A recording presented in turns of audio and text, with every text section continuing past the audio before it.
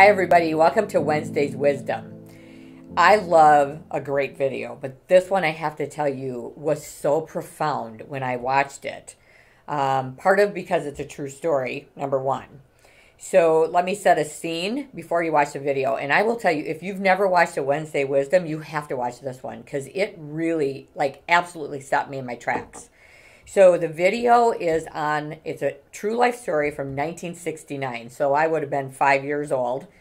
And he talks about what the world was like back then. It was uh, Vietnam War was going on. Uh, JFK, Bobby, Malcolm X, Martin Luther King had all been assassinated within a very short period of time. And think about Charles Manson, that whole thing with the cults and the killings, that was all going on. So he equates it to our world today. You know, we all kind of look at our world and we're going, it is just. I mean, we're all in in uproar, and we we just don't know how we're ever going to fix our world. Well, think about '69 and all of those events happening. They had to feel pretty similar to how we're feeling right now, right? Well, he talks about this story about trust, and that's really the bottom line about trusting other people in a time where it's really messy in our society and it's really hard to just trust and the kindness of others and the impact that not only it had on his father, who of course was that age where this was all so significant, but also how it transformed him as a young man into the kind of uh, adult that he is today. It's a fabulous video. It's a true story. And um, I hope you enjoy it and I hope you equate it to where we are today.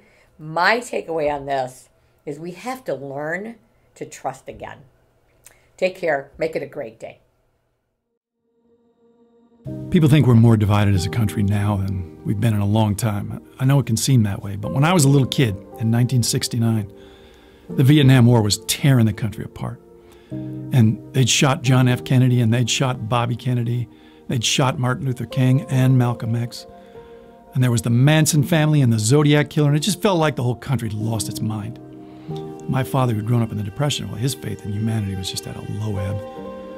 And the two of us that June were driving from LA to Oakland in an old 1960 Oldsmobile, and the water pump blew out south of Bakersfield. And so this was long before cell phones, so we were about, well, we were going to have to hoof it like nine or 10 miles into town when this young cowboy pulls up in a flatbed and offers to tow us in. And all my dad had on him for money was this old Chevron gas card. So he kept telling this young fellow, you know, I can't pay you. And the young cowboy's looking at him like, yeah, I wasn't going to charge you. So he rolls us into town, and this is a Sunday, so nothing's open.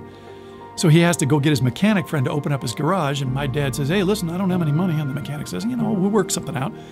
And then they all realize they don't have the actual parts, so now they got to go roust out the local auto parts store owner, and they bring him down. And my father's like, okay, okay, we need to talk about how this is all going to get settled. Because he just couldn't imagine anybody being this trusting about the money. So the cowboy says, look, if it'd make you feel better, I got a bunch of watermelons I need to get loaded onto my flatbed, and it's pretty hot work, and if you help me out, I'll pay for the part. So next thing you know, we're all unloading watermelons from inside a rail car, that's about 140 degrees. And 90 minutes later, we are soaked in sweat, and up rolls the car, just run like a top.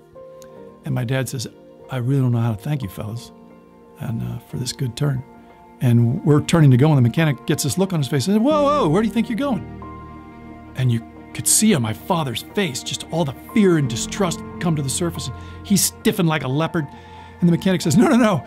My wife's going to make us all Sunday dinner, and you and the boy can get a shower and a clean shirt, and it'll, it'll make the drive easier for all of us. So we sat down for a dinner of fried chicken from the chicken right over there and corn on the cob from the corn right over there. Man, I got to tell you, I, I, I'm, we'll never have a meal that good ever again.